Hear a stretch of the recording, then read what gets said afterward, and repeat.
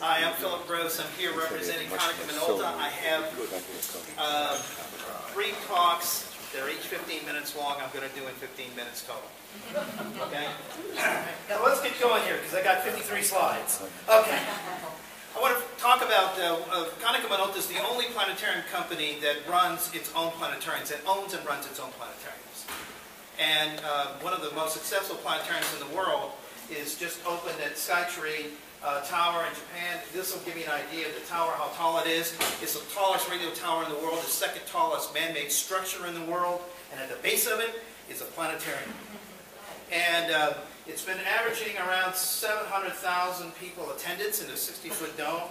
Um, uh, they're paying an average of about $12 a head, so you can see that it's actually possible to make money with planetariums. What a concept.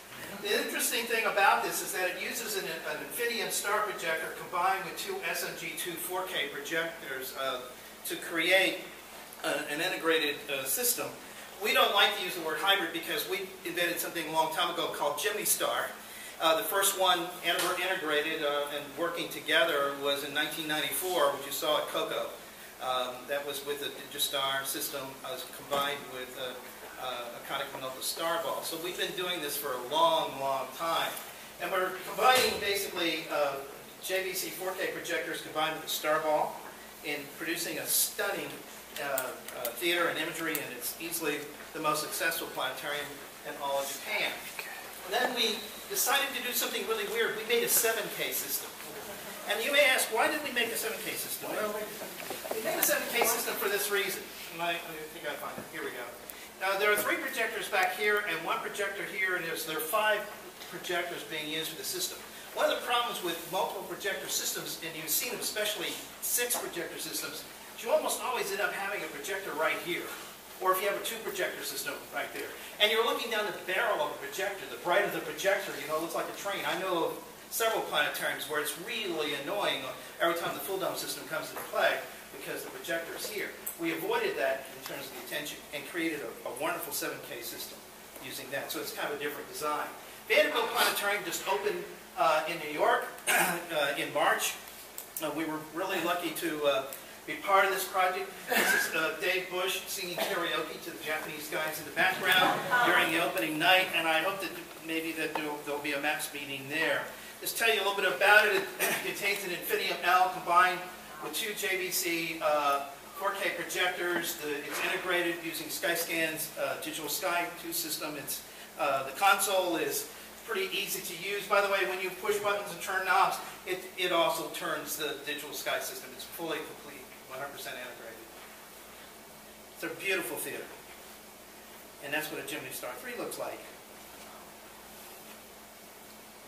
Montreal, Quebec, uh, this is two, uh, two domes. Uh, Sky-Skan was the lead on this one. They, they hired uh, Konica Minolta to do the, uh, the, the, projector system, but uh, it's a full dome uh, digital multimedia and a planetarium system. Uh, this is what it looks like. This, you notice it's kind of black and gray. They wanted a Darth Vader machine. Most of the Konica Minoltas are blues or silvers and so like that. They wanted Darth Vader gray. And so we gave them Darth Vader gray in this theater. And it's a, it's a, a planetarium designed strictly for astronomy. You notice it's completely circular theater. They, they're doing their full dome multimedia shows in a completely different theater, but they wanted the, the, the full dome capability to be able to enhance a traditional astronomy program. And in uh, Himeji, Japan, they just replaced all the star plates and the star lamp systems um, for that machine with a new LED star field. Zeiss has been doing uh, LED, uh, several companies have been doing LEDs. Uh, why did Konica Minolta come so late to it? And there's a good reason. Zeiss will tell you the same reason. That is, is that until recently, the amount of light output versus the amount of heat put out by LEDs wasn't very good. It wasn't very effective. We were waiting for the technologies to get much better so that they would run cooler. Cooler means no fans. It means that the star plates and everything, everything else lasts longer. And so we decided to wait until the technology matured a little bit. And when we did, we jumped in it in full, full way. And we're introducing the Sigma. The Sigma is a projector, a, a LED projector, all new design. It's going to replace all our, we're only going to have one star ball. We're eliminating down all our to just one. It does every dome size from 20 to 27 meters, I mean 12 to 27 meters. One star ball. Uh, complete LED. Uh, it's small, less than 800 millimeters in diameter. Uh, the price point is we're dropping the cost of our star balls in half. Because in order for you to be able to go back and do star balls, multiple million dollar star balls, just no one can afford those anymore. So we've completely reinvented and redesigned all that. Who represents Konica Minolta in the United States? Actually, it's not me. It's a company called MTE, Magna-Tech Electronic Company. Uh, they're the largest Barco dealer in the United States. They do more digital cinema installations with 4K projectors and 2K projectors than all the planetarium companies in the world combined. They have offices all over the world, and if you want to know more about it or contact Konica Minolta, simply go to MediaGlobePlanetarium.com. That's all you have to do. And there you'll have go to the website. But uh, MTE, uh, we're really excited about the kind of things they're going to bring to this. So how am I doing on time? No, but uh, now observing comment I saw. What planetariums can use right now is a really great comment. How many minutes? Good. All right, Comet ISON, uh, uh, and uh, we talked a little bit about that. Uh, I know that uh, uh, Alan did a program on it, I want to talk just a little bit about what this could mean. This is um, my first comet that I ever really observed in any detail. This is Ikeya-Seki. It's from a coronagraph the Japanese took of it. And this particular nucleus of this comet was only about two kilometers in diameter. right now, the estimate on ISON is about five. So it's bigger. And it also passed much closer. These comets pass within the, the Roche limit, and when they do, they often break up. But it has to do with the cohesion of the nucleus itself, so it's hard to tell whether or not it's going to break up or not. But Ikeya-Seki was stunning, and, and um, I think that it would be safe to say that there's a good possibility, I'd say at least a 70 to 80% possibility, that Comet ISON will indeed exceed Ikeya-Seki. Okay? Now, Alan and other people have been very conservative about this. I got news for you. It's going to be out of your hands. you're, you're going to be reacting to this.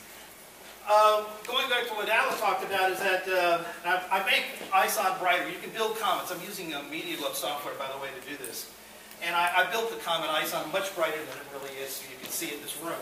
But um, this is roughly uh, on October 1st. Why October 1st? That's the day that I would make my decision. Am I going to jump off this cliff and tell everybody this is going to be the greatest thing in the world?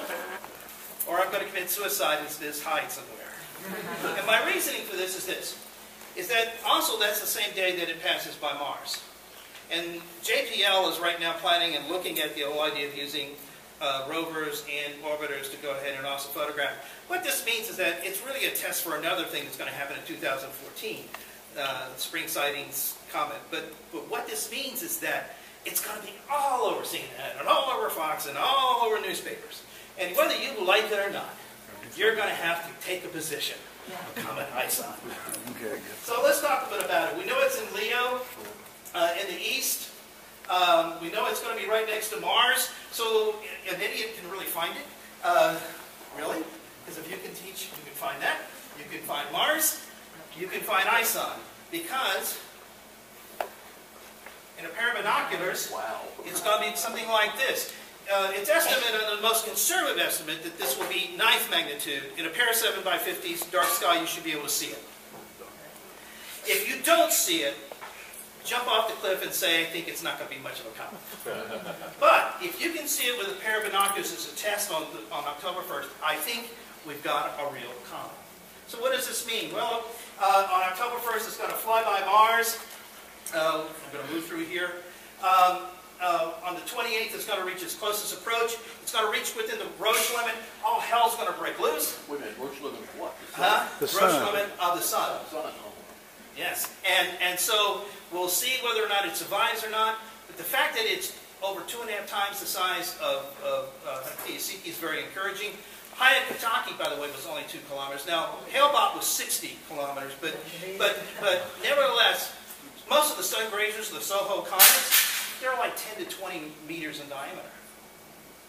So I'm really kind of encouraged as an observer. So what is it going to look like? I've put everybody in the northeast. Uh, I would say around the 6th, 7th of December is really going to be probably the first really good time. Uh, my comet model shows all kinds of dust production. It's going to be pretty cool. I got to go in here. So I'm going to keep going. It's 1217, 1222. It's moving. It's now on 12. It's becoming circumpolar. It's going to move right by uh, into uh, Ursa Minor, and around the first, about the seventh, eighth, it's going to be very close to Polaris. What that means is photography-wise, again, anybody can photograph this comet. If you've ever done circumpolar photography or something near the pole, you don't have to have a, you don't have to have anything mounted. Just take the camera, lock it down, take a minute exposure. You're going to get a comet picture. So this is a great opportunity to do that. All right, let me move on here. A really good friend of mine, and I'm not dropping names, died uh, last year, and I didn't want to see it happen without someone saying something about it. Ray Bradbury died last June.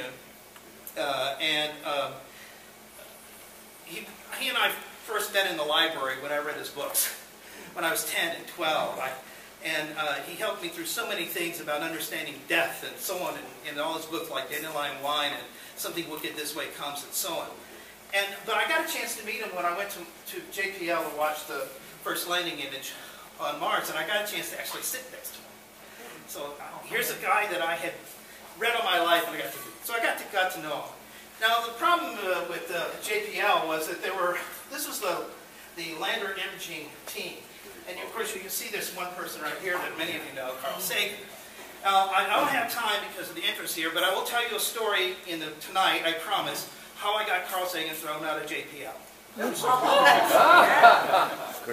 I actually became good friends with Carl too, but uh, this is the, the Roy Neal of NBC. This is uh, Ray and, and Carl doing a little stand-up piece here. This is what it looks like uh, on TV. Notice that you didn't have to worry about whether you wore pants or they matched. and um, I, am in interest of time, but this is what I want to get to. Uh, Astronomy education is an elephant. Kim Small did a great job telling you one part of the elephant. Now I'm going to take another part. Well, I'm going to let Ray Bradbury do this. And if this pisses you off, good. This is an actual quote from a Caltech commencement speech. Anyway, along the way, I worked for the Smithsonian Institution in Washington, D.C. They were putting on a planetarium show with astronomy, of course, but they were boring the hell out of the people. They took me in to see a show, and within 10 minutes, everybody was asleep. You could hear snoring all over the planetarium. Now, we've all been here, by the way, I know. And they took me back to the office, and the head of the Smithsonian said to me, what are we doing wrong? I said, my God, do you know what you're doing in there? You're teaching with this planetarium instead of preaching. A planetarium is a synagogue, a church, a basilica. It's a place to celebrate the universe and the incredible fact of our being alive in this world. He hated planetariums. I, I was a very good friend of him, but he hated, he never liked one, never went to a show, he, didn't, he just thought they were terrible. And then I went, I took it all, at all this.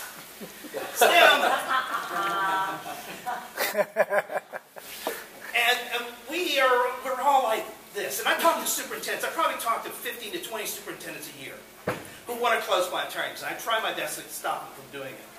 But why they're doing it is because we think that we value ourselves by how well we meet these. Nothing could be further from the truth.